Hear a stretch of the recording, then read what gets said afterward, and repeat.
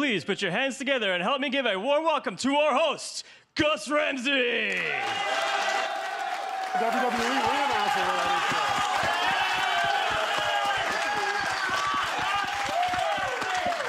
Thank you, everybody. Thank you, one and all. Thank you for coming out here today. Uh, I would love to spend the next hour talking with Charles about Russell Wilson going to the Broncos. Uh, in deference to other two guests, we're only going to do that for half an hour, and then we'll get into the other stuff. Charles Davis played safety for the University of Tennessee in the 80s and, among many other things, has been an NFL color commentator for Fox and CBS. Many of our students also know him as one of the voices of the Madden NFL video game franchise. No one questions my decision making more than Charles on a daily basis, including my wife. Uh, here to share his journey from athlete to analyst, please welcome Charles Davis.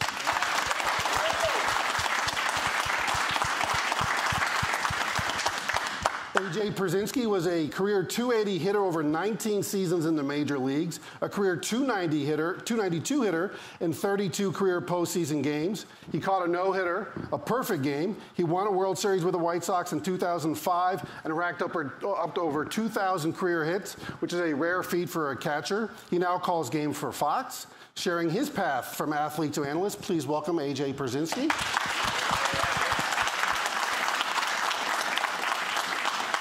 And Byron Saxton was a wrestler in WWE's developmental circuits for five years and is a proud Florida Gator. He has worked on all of WWE's flagship shows, traveled the world, and made his debut as announcer on Monday Night Raw after Brock Lesnar beat the holy hell out of Michael Cole, JBL, and Booker T. Here to tell us about his literal bumps in the road from athlete to analyst is Brian, Byron Saxton.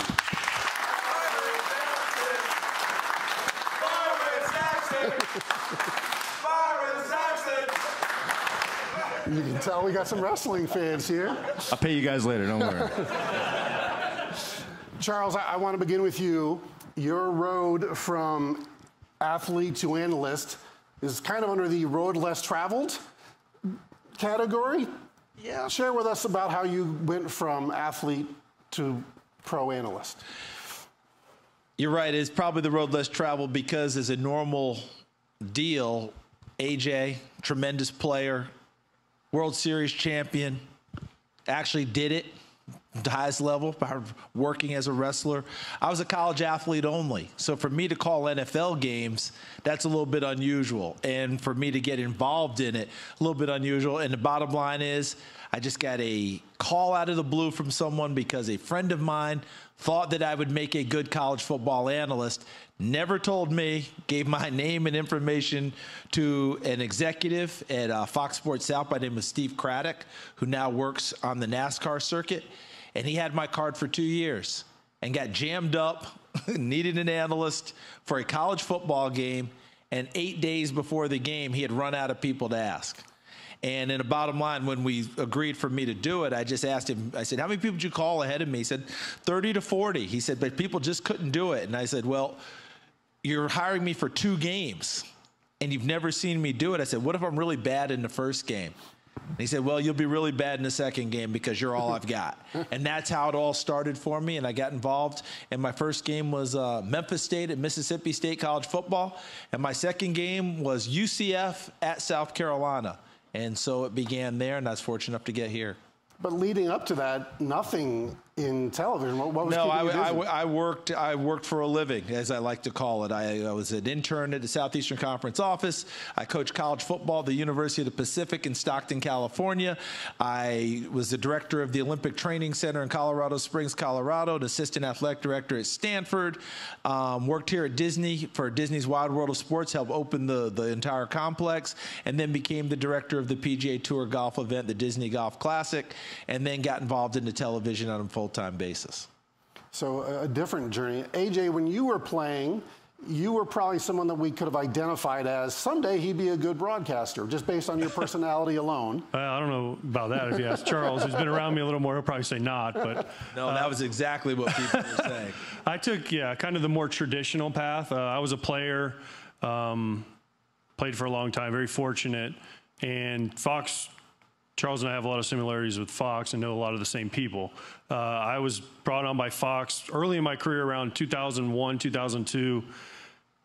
a lot of you guys in school here won't know there was a show called Best Damn Sports Show, which was on Fox, the regional Fox, and it had Chris Rose, Tom Arnold, John Salley, um, and it was on every night on the regional, like would be considered like Fox Sports Florida or Sunshine Network. And they had a show, and they would ask me whenever I was playing in LA, "Will you come on the show for a day or two? And I started coming on that, and all the people now that were on that show have now ascended to Eric Shanks, who, who's the head of Fox Sports, John Entz, who was the head of Fox Sports. All these people moved from Best Damn all the way to the top of the ladder. And when I was playing, they started asking me, "Hey, will you do pre and post game for the postseason?" And I was like, "Yeah, why not? I got nothing else to do. I'm not playing in the postseason." So uh, I think my first time was 2004. I did it uh, three weeks straight on Best Damn every day. They flew me in and out. Uh, then 2006, I did my first actual series uh, with Jeanne Zelasco, and I think uh, Eric Byrnes maybe did the pre and post. And then 2011, I was still playing. 2011, they came to me and said, "Hey, we want you to do start this again." So I did 11, 12, 13, uh, from all the way through to the World Series. Uh, 14, I was in the LCS with the Cardinals. I say a Cardinals jersey. Uh, they asked me to come do the World Series, and I have a wife and two kids, and my wife was like, uh, "You're just gone for an extra three weeks. If you go for the last week, don't come home." So I was like, "I'm going to pass." Uh, 15, they asked me to do a series. I worked with Matt Vasgersian and John Smoltz. Did a calling uh, as the third guy. Uh, did that went well. Matt Vasgersian went on to do Sunday Night Baseball. Smoltz is the lead guy for Fox now. 16 was my last year playing. They came to me and said, "Hey, we want you to do it again, but we need to know you're not going to play next year." And I was like, "I can't give you that promise." Until after the postseason, then I went back to them and said, "Hey, I'm not going to play." And they said, "Okay, when you start doing games?" And so from 17 on, I've been with Fox. And unlike Charles, my first game, I will admit, was a disaster because they I didn't know I anything. didn't say mine wasn't. I didn't, I didn't, I didn't know that. what I was doing. I they don't give that. you me and I'll never forget Mar, uh, Kenny Albert. He was a very famous announcer, and, and I in Tampa it was Yankees at Tampa. Like they were like, go And I'm get. sure they gave you a whole lot Oh, of they direction. said, "Go get them. That They was just it. Said, uh, you know, camera on, go, don't, right? don't curse on the air. that was basically it. Pretty much the roadmap. And we'll see how you do. And since then, I've been doing it now for, well, I guess this is my fifth year. Uh, and I'm fortunate enough I get to work right all the big Fox games on Saturday, playoffs up until the LCS when they drop down to one crew. And uh, it really is, it's a dream come true to be able to stay in baseball and, and call games. I know you're to move on real quickly, but for all of you out there, if you go back and Google AJ starting this this journey broadcasting while as a player, you'll notice that's pretty rare. Doesn't happen very often. While your career is going on, they ask you to come and do those. So there's a universal respect there. Position he played, understanding the game better than anyone else, and the reviews for him out of the gate were off the charts he's being modest about them saying, well, are you going to play the next year? They were trying to get him to retire from the first time he went because they wanted to make him full time, and he still had a lot of baseball left to give. So, Indeed. AJ mentioned uh, John Entz, who was on my staff when I was producing the 11 o'clock Sports Center. And he went on to run Fox, and I am here with you guys.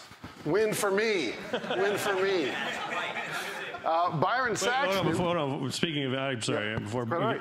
Did, were you the one that taught? If you guys don't know, John Entz is one of the strangest texters of all time. And Charles will back me up. Ever. And so I don't know if you taught him how to do this, but he would randomly text you at like two in the morning and say the grass is green, and you'd say, "What are you talking about?" and no response after For like that. three weeks, and then he'd be like, "The sky is blue," and you're like, "What is he talk?" So I, you That must have didn't taught come him. from me, no. That was not you. No. Well, frankly, when John was working for me, I don't think we had texting yet, so it's, it's been a minute.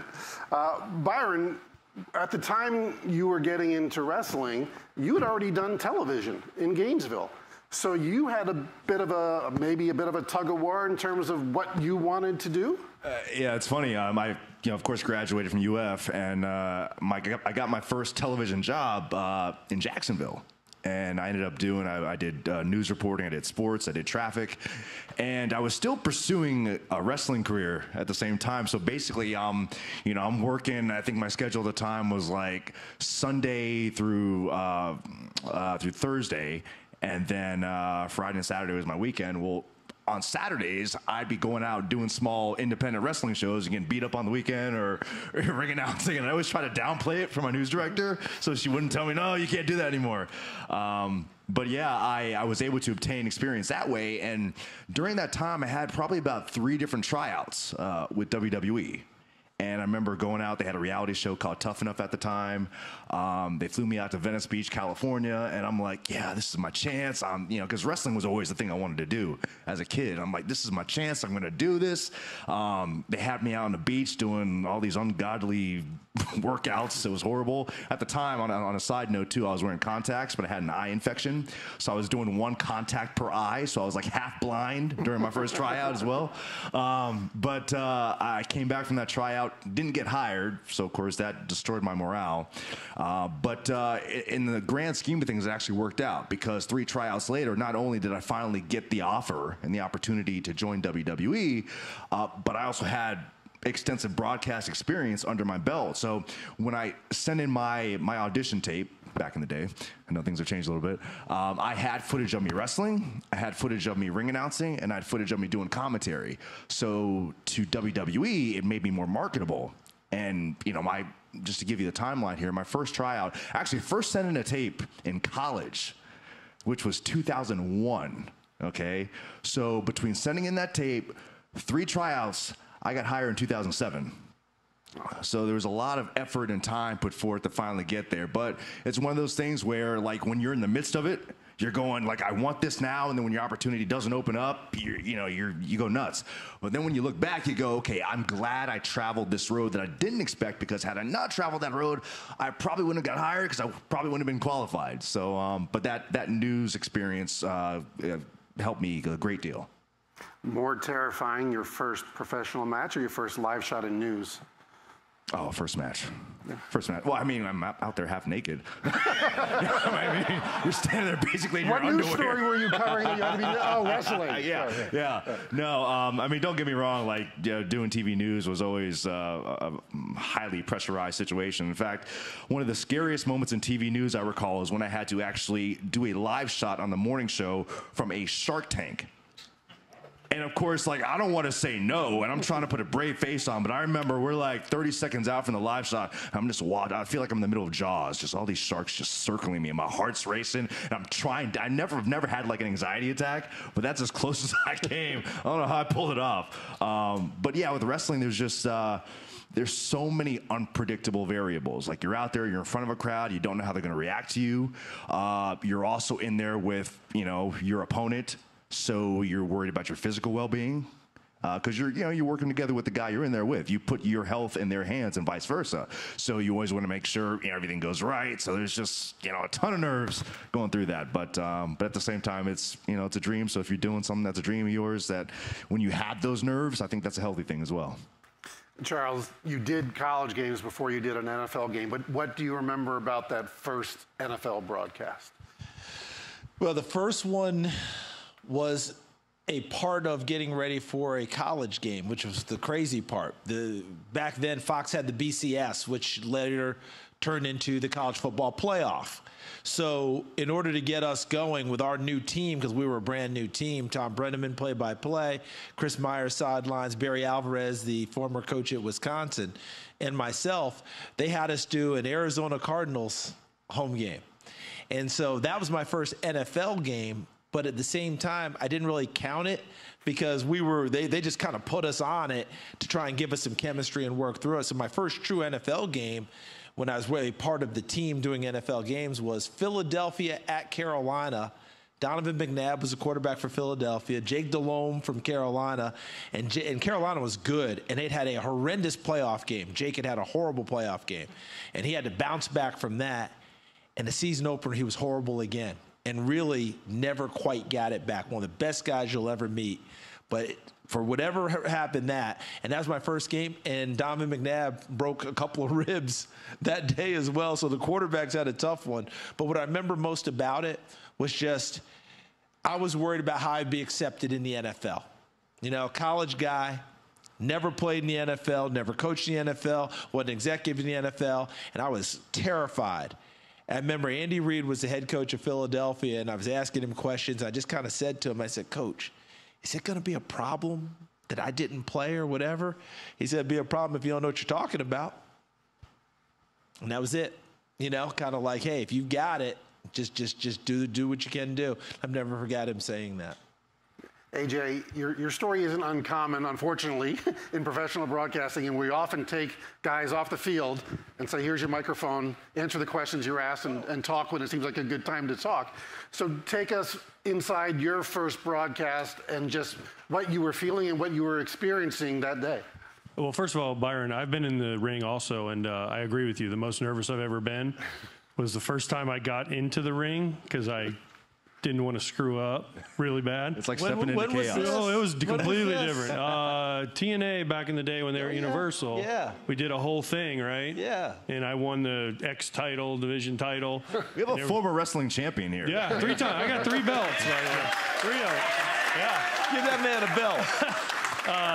But yeah, I was scared to death because there's so many things like uh, baseball, World Series, All Star Game, and you know any baseball situation. But I, when I had to walk down the ramp and the music hit and we came out and the whole thing, I mean, I was just please. God, don't let me screw this up. Because I'm, because you know, we all kind of know about wrestling, right, and, and what it is. And, and I'll say this: like they, the outcome might be kind of predetermined, but I know how hard I've hit people with objects and how well they take it. It is not fake. So I will stand up for wrestlers to the day I die. It is not fake. It might be predetermined, some of it, but it is not fake. Now, to your question, I wasn't as nervous as I was when I wrestled, but we're in Tampa Bay. Yankees, so of course they give me the Yankees first. So course, everyone's right out of the watching, right? The- the They whole couldn't- country's Yeah, they couldn't give me Tampa, Miami, where nobody nobody pays attention. I get Yankees, Tampa. Aaron Judge just gets up, right? so he was like kind of the star. And I remember, I knew, luckily, I I just gotten out of playing. So I knew all the players, I knew all the coaches, I knew the managers. Girardi was great. Uh, I went in, talked to the coaches about guys, you know, tell me about Aaron Judge, and they tell you about this. And you tell me about the Rays guys, and they were good. So, and, and then you get into it, and Kenny, I was like I said, Kenny Albert's great. He does. If you watch a hockey game, he's the voice of the NHL, and and, and does basketball and, and baseball and everything, and football. And he's an absolute cyborg. Yeah, he's he's I mean, there's nothing he doesn't know. It's He's unbelievable. So we get into the first game. He goes, "Look, I'll get you through it. Just I know you're a little bit nervous. I'll just get you through it." And he was so great. He just kept asking me questions, right? And the only advice I ever got from anybody at Fox, and, and I'm sure Charles Zimmer was there, like, just don't talk the whole time. Like, let the game play and let Kenny tell you when to talk. And I was so thankful that Kenny was there because he kind of led me through it. And you still feel like you talk too much because then, because I'm sure you, you guys can tell, when you're sitting there and you're watching an event and there's silence, you think that you need to say something. But in reality, like the game is happening or the, the match is happening, and you can just kind of let the crowd and the, the scene, because the camera guys, the producers are so great at what they do. And, and that's the hardest thing I think to learn because a lot of times when I watch new guys do it, they just can't stop talking. And it's hard to like, all right, I don't need the guy hit a ground ball to second. I don't need to analyze it. Like play by play guy, is that a ground ball second? You're like, okay, great, move on. But that was for me, it was it was scary. I was glad it was over, and then but wrestling still got it. Well, that, that's a great point. We, our students do the broadcasting for Rollins College, and one of the things I try to impart on them is let the game breathe, especially baseball. Baseball, even now, as oh, if you, once they start playing again, we don't watch a baseball game with our undivided attention. It's background noise. We're on our computers or iPads, whatever, and then every once in a while I need to look up. So I will tell them, watch some broadcasts and see how long you can count before somebody talks. And a lot of games tell you you can't get past three seconds, and it's not necessary. To your point, the cameraman, the director, they're bringing you into the environment. That's, that's half the battle. Byron, outside of hoping you weren't going to get assaulted by Brock Lesnar, what do you recall about your first Monday Night Raw? Ooh, uh, well, good thing I was wearing dark pants that day. Uh, no, it's it's funny how it how it happened because uh, you know I had been on the road with WWE and I'd been doing some of their secondary shows. And uh, for those of you who don't know, Monday Night Raw is like their their flagship program. You know, it's three hours long. That's where you know your main storylines take place. You know, the other show now is Friday Night SmackDown. They're basically on equal level now, but Raw, like for years, that was the show. And uh, so I remember getting a call earlier that day, uh, being told, "Hey." Uh, something funky might be going down tonight. You're probably going to be calling the show. And in the WWE world, uh, things are just ever changing. Uh, you know, we may have a show lineup set at like noon, and then at six o'clock, we've had about five different drafts. So you're always on your toes, you know, because things are just, that's part of the creative process and, you know, entertainment, you know, kind of, you may feel like you want a character to go one way, and then you realize, okay, maybe we need to go this way. So that changes, and of course, that adjusts the whole broadcast. Um, but I, I was told, all right, there's a, there's a good probability you're going to be doing the show tonight. Uh, then I was told, uh, okay, you're probably going to do the show um, with uh, Jerry the King Lawler, who's a long time, long time wrestler, long time commentator uh, for WWE as well. So I'm like, okay, cool. I've never, I've never been in the play-by-play spot, which was what they were going to have me do that night. Um, I'd never done that on WWE television, but I knew I had King with me, so uh, you know, I figured, yeah, I'll, we'll, we'll get through it. Well, then as things always change. The show starts at eight o'clock. Okay, so you you think things are set there? Not quite. Uh, about eight fifteen, I'm looking at the show lineup and I'm seeing like seg eight. Oh, Byron Saxton goes to the ring, and I'm looking at the lineup and I'm going, wait, that that's where's King's name? Because I was told King is coming with me, and so I'm like flipping through and I'm going Seg 9, no king. Seg 10. So there, basically, there was a couple segments where I was going to be out there alone. and I knew this like 30 minutes beforehand. So hence the dark pants. Uh, so, and, uh, and, and just to paint the picture for you, they did a scene where Brock Lesnar, um, who's big star in WWE, UFC, he destroys the entire commentary team, uh, destroys the announce desk. So I remember running out there and uh, and it's it's the, the the night after WrestleMania, which is our biggest event of the year. It's our Super Bowl. Um, so we've got, I mean, packed house, fans from all over the world. And so I'm going to call the show alone. And that reality alone is like, hold on, the biggest Raw of the year, and you got me out there. And then on top of that, they the desk had been overturned. So I essentially, I gotta just have you visualize it. The desk is overturned, so our monitors are typically lodged in the desk to call the show. Well, since the desk is overturned, there's no monitor, so our local PA there on the floor is holding up a monitor. He has one on the side for me. I have to sit crisscross applesauce, basically, staring at a monitor. So I'm thinking to myself, in this position, the biggest show of the year, and this is how I'm calling the show. So, needless to say, uh, I was I was racked with nerves, and of course, uh, you know, it was it was an experience that uh, didn't go too well. Um, I found out how aggressive Twitter can be that night. uh, to the point that even my mom, who knows nothing about the internet, she comes in, she goes, I heard you have a lot of heat with the company. um, so that's, yeah, I, I'm glad I went through it because um, it, it was a learning experience, and that's what you know everything we do is. Yeah. Whether, whether we fail or succeed, but I will never forget it. Yeah, it's all about those reps, and you do it once, you know what it's going to feel like, and you don't want to feel like that again. No. uh, Char- Charles and AJ, you guys have the luxury of the game knowledge and knowing what it's like to be on the field, to call pitches, to call plays, whatever. But at some point, as a broadcaster, preparation comes into play. You can't just fall back on, I know this stuff. So, Charles, walk us through a little bit how you prepare for an NFL game. Yeah, that's a great point, Gus. And, and for me, and people always ask, how long do, do you get this question? And I'm sure you get the same Every question. single person. How long does it take for you to prepare for a game or an event, Oh, yeah. right? And my answer is always the same as long as it takes to get the job done. Meaning every person is going to prepare differently, have different timelines, all that. If you're just sitting there saying, I've got one hour, I'm going to do it, it, it just doesn't work. You have to find out what works for you, for your comfort level, for you to know that you know the information backwards and forwards, to have everything down for that event. So for me, I typically will call a game on Sunday and I have information with me that I start preparing for my next game because typically you know your next game at that point on the flight home. That's how I do it. Now, other people, they take some time, they get some rest, they do whatever, however they want to do it.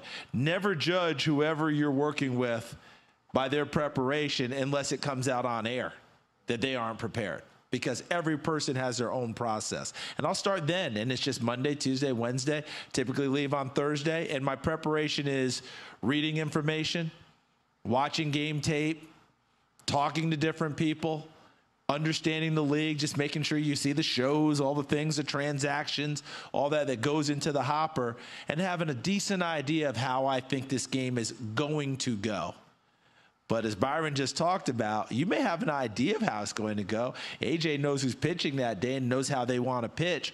But sometimes those things adjust, change on you in a hurry. He doesn't have his best stuff. They change where Byron's going to the ring by himself now. No King Lawler. What? When did that happen? I think that they're going to throw the ball a lot. They come out and run it 15 times in a row. What's your adjustment process? At the end of all of your preparation, isn't it pretty much what's in front of us? Just react. Call what's there. That's kind of how we have to get to it. AJ, how did your process evolve? Well, I'm glad Charles spends all week because I am the opposite. when I first got out, I knew everybody, so it was easy. I could just Uh, I face this guy 50 times. I know what he's going to throw. I face his team. I know as I've been out now, I have to do a little more preparation. But I think in baseball, it's different because it's a daily game. So football, one game a week. So he sees Sunday, he knows who he has. Well, I have a week. So if I do a game on Saturday, okay, say I do Cubs Cardinals Saturday and I have Yankees Red Sox the next Saturday, I'll typically will typically guess on who's going to pitch. We don't don't normally find out. So I'll try to watch the pitcher who we think is going to pitch because with the MLB package you can kind of watch every game now. So I'll I'll guess and say okay, uh, you know Gerrit Cole is pitching against. Uh, Chris Sale on Saturday. We think now there could be a rainout, there could be uh, who knows. They, they, could you know get a toenail, uh, you know whatever it is. They might miss the start. So you have to be. That's kind of my preparation, and then I'll watch. I try to watch the game. Definitely, if the game's on Saturday, we always I always watch the game Friday night. I try to watch the home broadcast of the starter the time before because he'll they'll give you a lot of the information how he's throwing, what's he trying to do. Uh, we get clips, media clips all week sent to us for the two teams. Read through those. You get some tidbits here and there. It's very generic usually. Uh, Friday we have a meeting with the starting pitcher, uh, whoever it is. We get 10 minutes with them in the. They used to be in the locker room, but now it's on Zoom. Uh, then Saturday we go into the stadium before traveling. Uh, and we sit down with the managers for about 15 minutes of both teams, and you try to get everything you can in those 15 minutes. It's, but at the end of the day, I'm not a big stat broadcaster guy. I'm not, you know, I understand the sabermetrics and I understand the, all the numbers, but I don't think if you're listening at home, you understand what's happening. And I'd rather tell you what I'm seeing. So I'll take, I get a, I have a guy, Joe Davis, who you worked with. He has a guy named Rick, who's a stat guy. Every game, before every game, he sends me a, a stat basically a rundown of nuggets on every guy on both teams. And so the day of the game, the morning of the game, if it's seven o'clock game, usually about lunch, I'll sit down and I'll go through them and I'll just take like one or two things off each guy and write it in my little scorebook and through every guy, right? For the starting nine. Now, and that's it. And that's all I'll have. And the rest I'll just let the game tell me. Because if you're watching the game, we put their batting average and their home runs. So you know who's having a good year, who's hot, who's not. The guys do all that. So for baseball, it's a little bit different.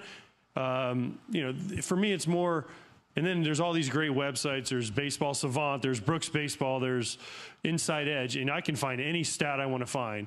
And so, like, we'll bring in a relief pitcher, and I'm not sure I know him. I can go while they're bringing him in. I can type in on Baseball Savant and say, "Show me, I don't know, uh, Aroldis Chapman," and it'll show me five clips in 10 seconds and he'll show me every pitch he's thrown, what count he throws them in, the percentage he throws them, how hard he throws them. So it's it's changed because of the the information that's out there. So so for me, it's more of watch the game, go feel how the game, and trying to guess what's going to happen. Because in a baseball game, if uh, you, you talk to the manager and you watch the team, you can say, okay, the Yankees have a lead in the sixth inning. They're going to go to Britton. They're going to go to Chapman in the ninth, Britton in the eighth. You know, back it up, and you say, okay, if if Gerrit Cole gives them six innings, then this, this, this, and you ask the manager before the game, hey, is everyone available? Yes. Okay, you do this. Yes. And then they follow a script.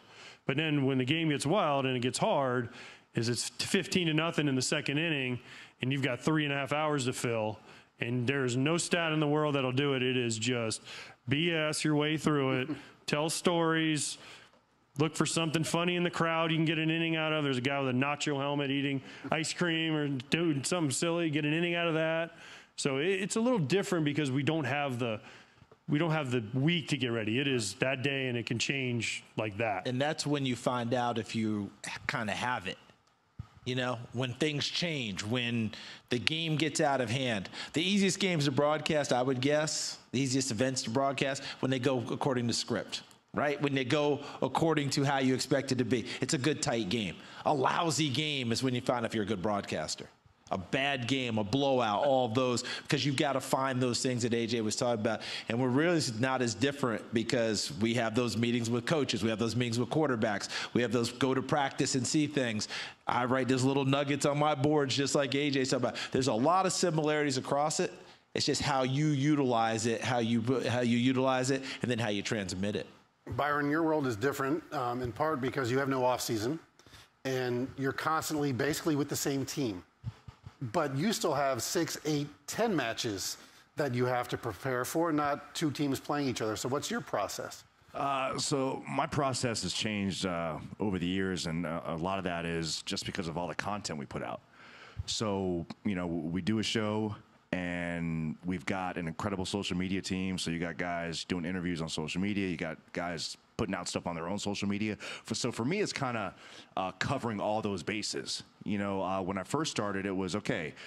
This happened on Monday Night Raw or this happened on SmackDown. Make sure I'm up to date on all the different stories here so I can bring that forward if I need to. Now it's okay. What is this person tweeting throughout the week? What are they posting on Instagram? What can I use to potentially uh, bring that story forward? Um, I'm an over preparer by nature because I'd rather like do everything I can to make sure I won't get caught off guard, even though you I'm the opposite, by the way. Yeah. Sorry. I admire that ability, um, but uh, but yeah, it's really just kind of you know dotting every i, crossing every t that you can, and then um, w- with us too. You know, you talked about the guy with the nacho hat and all this stuff. Like, we have such limited real estate because our average match is, say, six to eight minutes long. So you're either pumping up, uh, you're putting in a plug for a sponsor, you're pumping up the next show. There's certain storyline points you know you have to get through. So speaking in sound bites is so imperative for us, but still trying to tell a story uh, within that context. So it's you know, I may have a page full of notes and I might get one or two of those.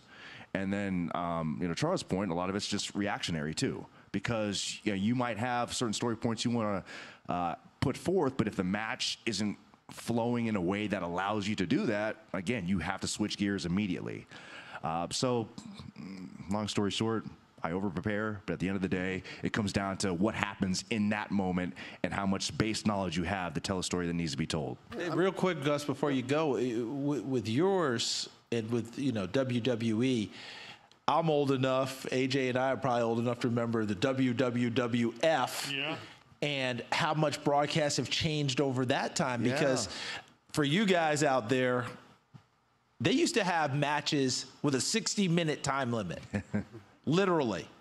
And they would go an hour like these matches would literally go an hour, and the setup and the finish were way different. Because you're talking about six to eight minutes. Yeah. You remember how long it would take? We'd hold a guy with a sleeper hold, or just you know, or they put a figure and they'd hold him for a while, and it'd be there for five minutes. Yeah. It was a whole different broadcast. And, and, you have now. and to that point too, it's changed so much because back in the day, you know. Um, our commentators were very similar to, to sports commentators where you just you called that body slam you called that clothesline and now the way our product has shifted and adjusted over the years, it really is more about storytelling. Yeah. You know, we get told all the time, you're not you're not calling radio here. Like I don't need you. The viewer can see what's happening. I don't need you to tell me every single thing that competitor is doing. But what I do need you to do is tell me their motivation, tell me their background, because what our what our product does is sell emotion. So if we can't create an emotional connection between the competitor for the fan to understand, they have no reason to cheer the competitor or boo the competitor or be emotionally invested, and therefore we've just wasted a segment. Did they cheer? I, did they cheer I, you with TNA? Were you were you a I was, heel well, or, or were you both. a baby face? It was way more fun being a heel. Ah, I went both. I did both. Face was boring. You did he did he tell so you didn't know that oh, he was on Raw too? Yeah. When- he Raw, almost- Price he is almost- Raw with he almost Bob jumped Barker. Bob Barker. Yeah. I was nervous. By the way, when I did that, I was scared to death because they were told me they said you have to say this exact thing. If you don't say this, it's not going to show up right, and then you're going to get body slammed by Big Show. and I was like, oh, I don't want that. Did, did, did you punch, did you punch Bob Barker like Happy like Happy Gilmore? Price is wrong, Did you Bob. did you did you do did you like Happy Gilmore and take out Bob? Uh, But I, I actually do have a because I'm obviously a wrestling person, fan, Mark, whatever you want to call me. Um, how much you We're can all- say we're all no? fans. We're- how, how much do they tell you though when you call it? Do they do you you know you know the time and you know the finish? Do they tell you that or is that all? I typically don't know the finish. Okay. You know, in a rare case, I do, and I, I kind of prefer it that way because I do want to be able to have that that natural, visceral reaction to what's going on. Um, and and again, there's there's times where even if you assume one person is, you know, going to win the match, that could change. You know, because they decided last second, hey, we're going to adjust the storyline. Or there's times where in the middle of a match, like someone legitimately gets hurt. So, so again, I mean, you've got to just flow with it. Like we had a situation a couple weeks ago on the show where uh, one tag team was supposed to win the match. Um, it didn't go that way uh, because our our like our referees. It's up to the wrestler to kick out, and if you don't kick out, boom, boom, boom. So we, we can't go. Oh, hold on, everybody. That wasn't the way it was supposed to end. We'll get back. No, you got to just react and go. So uh, it's Well, this year at the Royal Rumble, I, I'm guessing Kofi Kingston's feet weren't supposed to hit yes, the that's ground. another. Yeah. So we're, we're doing. I mean, all these guys. A lot of these guys are doing such high end stunts that, you know, law of averages says things aren't always going to go right. And again, like how the guys react in the it's same for the, for the guys in the ring. It's the same thing. You know, um, you may have something planned. Maybe the crowd isn't where you want them to be, so therefore you have to adjust what you're doing. Or maybe somebody gets a little banged up. Maybe they get the wind knocked out of them. You have to be able to adjust without exposing what's going on to the audience. But the competition, right? JJ mentioned it before. It may be a predetermined outcome for the most part, but everyone goes into it with the idea they're competing. I had a college teammate. Many of you may or may not. His name was Doug Furnas, and he was known as the strongest man in the world at the time. Big, big, he Yeah, squat a Yeah, thousand yeah. pounds in the whole deal, right? So Doug made it to the I remember. WWE and the whole deal, and the whole thing. Well, when he was working the regional circuits, Knoxville, Tennessee, had another teammate named, named, Lee North who played with Doug. And Lee told me one day, he said, "Did you see Doug today?" And I said, "No, I haven't seen him today." He goes, "Got him a belt. He's a he- he's a champ." and I said, "That is so cool." He said. Be careful though when you talk to him. I said, "What are you talking about?" Man, I made the biggest mistake. He said we went out and I was going to go with him to a match, and I hopped in the car and Doug's driving. I said, "Well, Doug, we're going to win or lose tonight." And Doug looked at me and said, If that's the way you feel, man, just get the hell out of my car. and he said, Let's go get him, champ. And never said another word. So the point being, we may talk about it that way, but the people involved, the competition, wanting to get it right, health is into your hands and his health is in right Yeah. the health back and forth mm-hmm. making sure you get it right there's a lot that goes into it so there's got to be a bit major respect factor One thing I want to touch on today, because many of the students here want to be a studio host or want to do play by play. You all have had experience working with hosts and play by play guys. So, Charles, starting with you, what do you think is one of the keys from the host perspective in terms of a good working relationship and a good on air product? I think we're working with a host. Number one, the host listening to what you are saying and advancing things and illuminating things that way, that that nature, and you, of course, listen to what the host asks you. So don't and give an answer that just didn't come that came out of nowhere. It, it, AJ talked about Kenny Albert, who can do everything. And he is so good with any partner that he works with because he will go over things with you ahead of time to find where the comfort level is, to try and get you to a certain place, to try and get the story that, that we want to get in advance the right way. Those are the things I think are really important. I've served in those roles, and they're not easy to be light on your feet, so to speak, and be able to adjust to what comes at you. when when when you ask a question, all of a sudden this major curveball, be able to advance, be able to handle, be able to do those things. Those are a big part of it for me.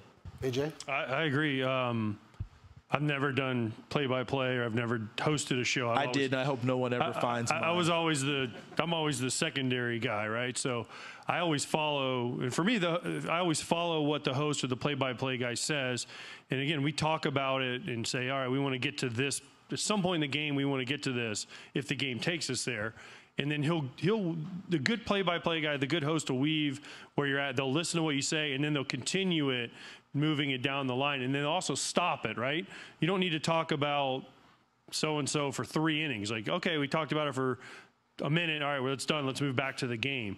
And I think most play-by-play guys that are good. I, listen, Charles has worked with a lot of guys. I've pretty much everybody on Fox Baseball. I've had an opportunity to call a game with, from Joe Buck to Kenny Albert to Adam Amin, who you know well. Uh, I mean, these guys are, are, the best of the best. And um, a game can be a little more difficult than even a studio show, though. I mean, I've did Fox used to have a show called Whip Around out in the studio, and I'd go out and do it for a week. And Chris Myers and and uh, Kevin Burkhardt and and all these guys would do the show, and we'd we'd go through the show before. Way more scripted. Yeah, we'd go through the show before, and I would never watch the highlights, and I would never. I'd, I, whoever my partner was, it was three person they'd be sitting there and they'd and they're like, "Why aren't you watching?" That? And I'm like, "I don't want to know. I just want to react to yeah. the highlight. I don't want kind of like what Byron says. You don't want to know the finish, right?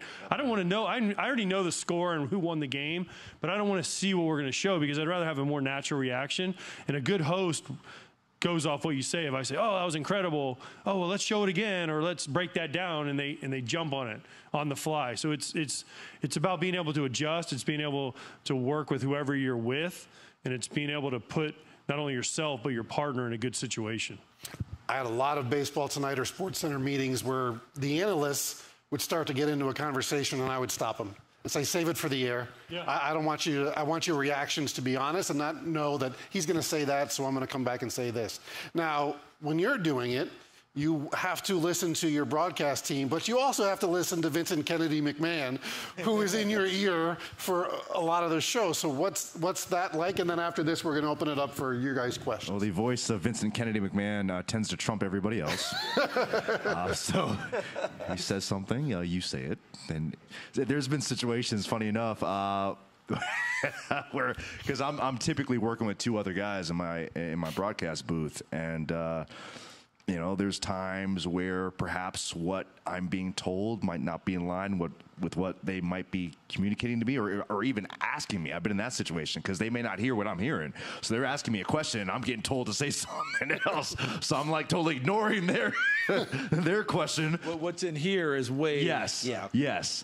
Um, which totally kind of defies the logic of what we were talking right. about listening to your broadcast partner. But when that isn't uh, the case, uh, it's it's the same. I know when I, because I've had the pleasure of doing play-by-play, I've done the hosting as well as you know the, the color analyst work, and uh, I know one of the issues I struggled with early on was being on my own island, as I used to say. You know, because I, I would prepare so much and not always pay attention to what my partner was saying. Um, so to the point that you guys brought up, it's so imperative. Not only uh, through repetitions, you learn the style of your partner, and you know you understand perhaps as a host like you trust the host to maybe give you questions that they know you're qualified to answer based on your background.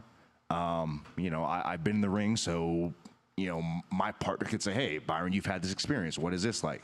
Um, and then of course understanding that you got to speak in those sound bites. Deliver you know whatever points you have to make and then, and then again trusting your partner. It's all about trust Okay, you tr- I trust that my host or my play-by-play guy is going to lead me where he needs me to go, and then he trusts me that I'm going to stick to that conversation so we can keep the flow going.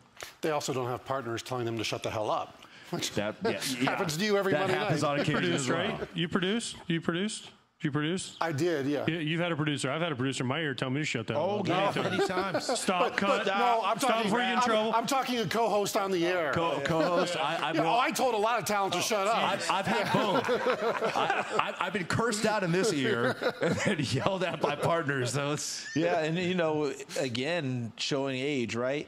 We remember Vince McMahon as the play-by-play. As the yeah, he was the play-by-play yeah. voice of the WWWF, uh-huh. then the WWF, then the WWE, and the whole thing. So you're getting, you're getting it from a person who did all the things, not only and besides runs. It's like at times I get to be Vince reincarnated. Yeah, because he's going to tell you what. you to laugh say. a little. Without like the paycheck, though. I'm assuming. you got that laugh. Byron, Byron, without the paycheck, though. Well, oh yeah, it's not about the money. Stock options.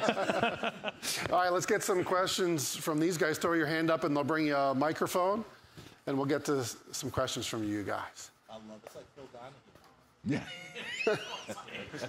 No one knows. No one knows who Phil You, Donahue you, remember, is. you remember that old Phil Donahue skit on Saturday Night Live where, where, where the guy, I forgot who it was who played, he'd run down the aisle. coming over. Hi, uh, my name's Dwayne. Byron, this question is for you. So obviously, you know, a lot of people have the feeling that working for WWE is extremely chaotic. I want to know specifically most chaotic night to you working as a commentator for WWE. What what was that? What was that like? Ooh, man. Um, I, I, this probably won't directly answer it, but there's just there's so many chaotic nights just because things constantly change. Um, there's many nights. So Monday Night Raw is a 16 segment show. Okay, it runs from 8 p.m. to 11 o'clock. I can't tell you how many times we start the show and our producer goes, "Okay, we have seg one." we'll go from there. And, and, and legit, this happens. I mean, no lie, every couple months. Like it's it's that prevalent. And so, because matches are changing or whatnot, but hey, we're on the air. Okay, we have you know the first 15 minutes covered, and then the writers or whoever backstage is scrambling to kind of keep us updated. We have a great director, great producer, so luckily, like they keep us honest. You know, um, this happens almost weekly where we're in the middle of a segment, and during commercial break, uh, you know, our, our producer comes on and says, "Okay, uh, I know we have this scheduled during Seg Two, But instead, we're going to start off with this. We're going to have it on camera. Then we're going to go to a backstage segment. And then we're going to come to you. And uh, so I think for me, I've just gotten so used to that. You know, I think the day that I walk in and see a show lineup at like noon and that is what we have at eight, like that'll shock me because I'm just not used to that consistency. So uh, I I know it doesn't completely answer your question, but Were you on Raw the night it got snowed out? Yes.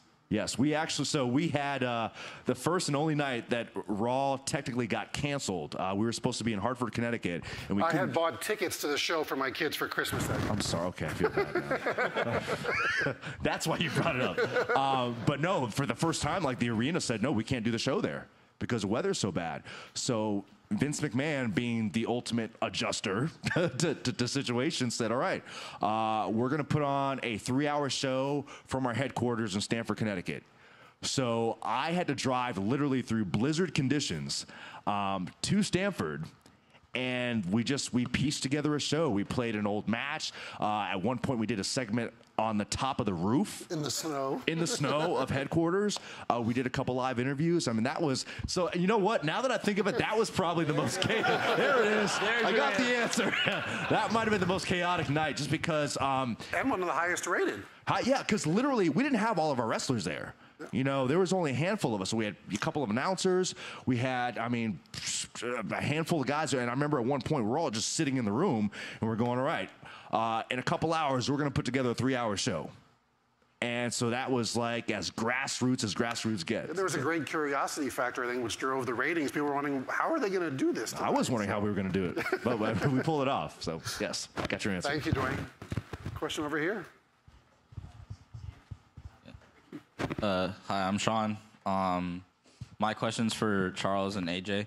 Uh, you used to coach and you played a lot. Have you ever thought of going from analyst to coach? Because I see that going on a, a lot lately. no. Hard no, right? Uh, well, I, you see, you guys know how many of you guys know Gordy back there? See how many Gordy! gray, see how many gray hairs Gordy has? Those are all from my son when Gordy used to coach my son. All the gray hairs. Uh, so uh, for me personally, listen, if a team came to me and said, "Hey, we want you to be manage the Cardinals," like you can't say no to that, really. Uh, am I actively out pursuing a manager job? No. Uh, I like having all my hair and some of it's a little gray, but it would be a lot worse. And to be honest with you, I enjoy what I do now, and the grind of coaching is is really hard. In baseball, it's every day, right? So the coaches get there at 11 o'clock in the morning, and they don't leave till midnight, and they turn around and do it the next day. And if something goes wrong, they get blamed no matter what. The player could have a bad day, the coaches get blamed, and for any Yankee fans, you guys see Aaron Boone, how old he's gotten quick, right? Like, I mean, he had heart problems you know, before he took the job, he was like the youngest looking 45 year old guy in the world. And, you know, Alex Cora, like, I mean, lost all his hair. And, you know, it's like, geez, guys, what happened to y'all? These are guys I played with, you know, and what happened to you guys? And they're like, this job's hard. And they're like, don't, you know, they were all announcers. Now they're, bro- and they're broadcasters. Now they're managers. And I'm like, all right, I'm, I think I'm just going to stay over here with Charles and Byron and, and just watch this show. It is. It's a whole different world, and it's like if you ever watch presidents of the United States when they take office, and then when they leave office, and then see them six months later. And it's like a new lease on life. Like, woo, all this is off of me. Uh, coaching was not something I wanted to get back to. General manager, front office, Yeah. intriguing. All right, as, as AJ as AJ said, if Yeah, someone the paycheck's better too. I want to. Yeah, sign me up. If anyone's, yeah, I'll take GM too. It- Maybe owner. Yeah, there you go. But as AJ said, if they come to you with something like that, it's hard to turn it down because the one thing you miss as a broadcaster is the competition. It's the beauty of being a broadcaster. Game's over, we're on the plane or in the car, no big deal, right? But you also don't leave without that because you remember the highs. You remember when it was good. Remember when you competed and you won. And that feeling is maybe what you chase again as a coach, as a GM, as a whatever. Brian Griese, who's just left Monday Night Football, is going to go back and coach for the San Francisco 49ers. I can't wait to see him about week 12 and see how Brian's doing. Like, hey, man, you miss getting ready for Monday Night Football? Or how you doing? How's your quarterback playing? Because that, that's how everything changes for you. I think we had a question up here. Hi guys, I'm KJ Doyle. Uh, Gus, I liked your last question. I was going to ask it, but that's all right. Uh, great minds think. Way to go, alike, as Gus.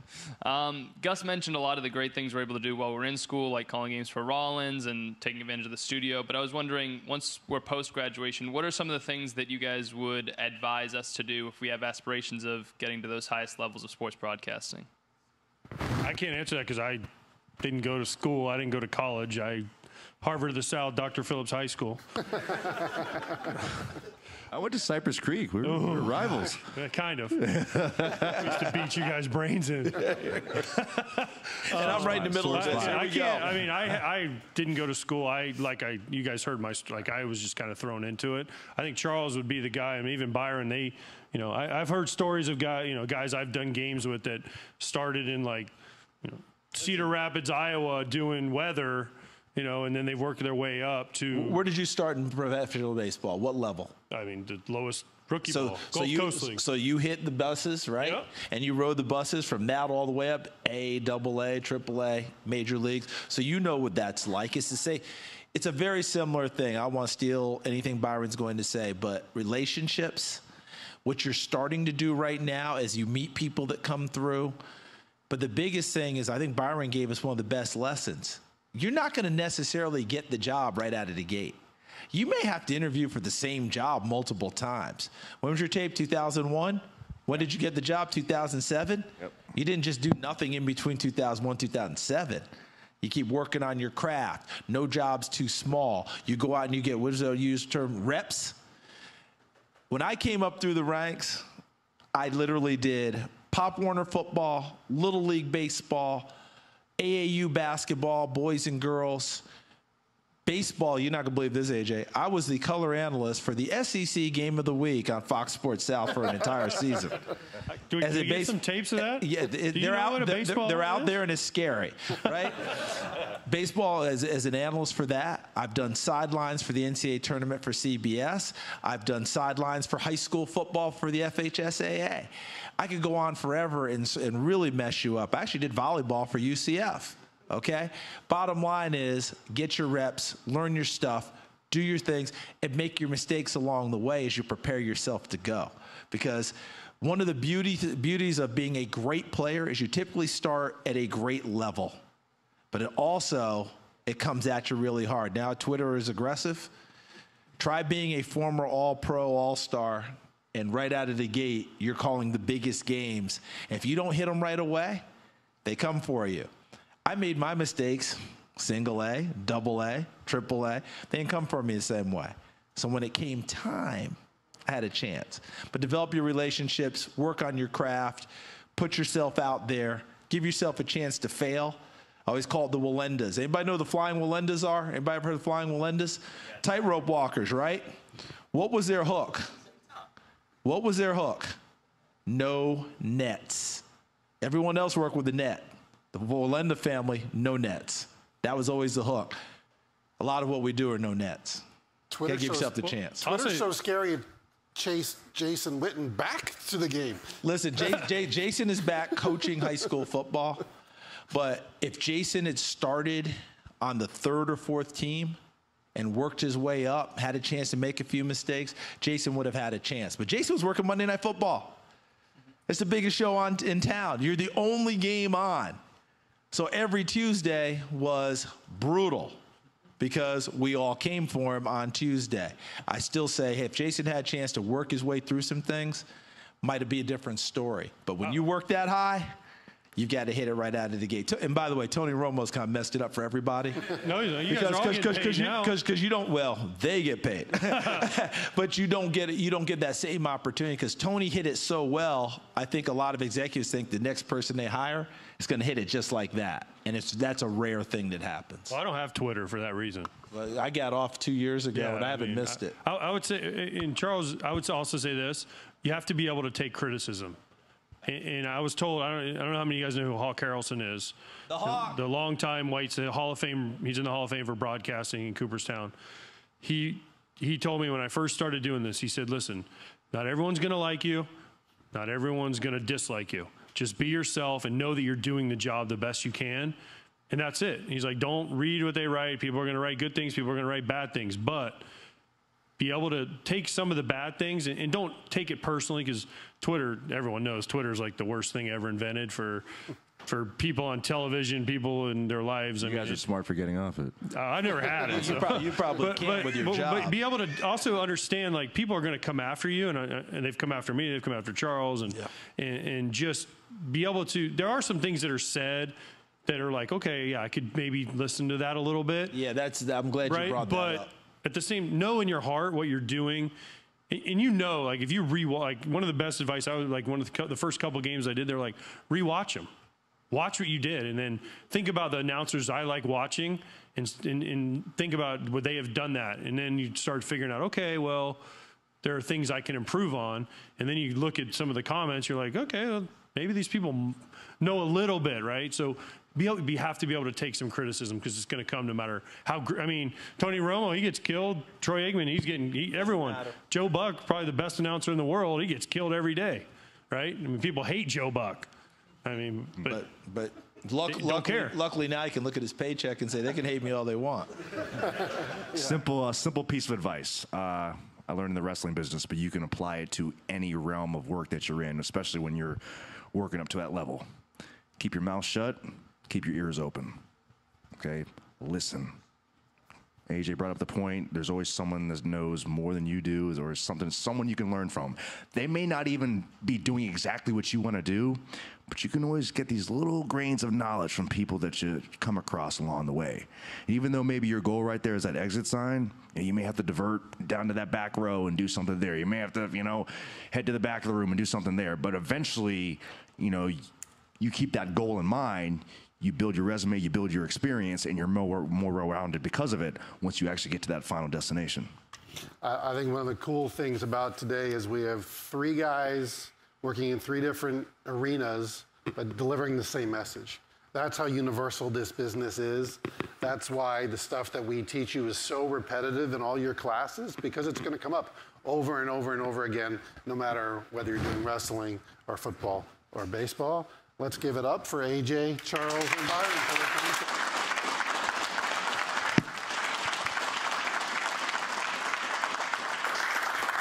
That's a wrap. Thank you, everybody. you guys